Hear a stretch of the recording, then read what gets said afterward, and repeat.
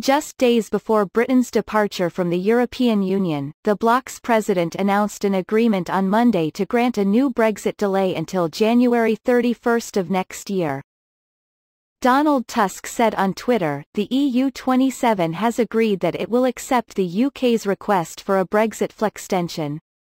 The decision is expected to be formalised through a written procedure.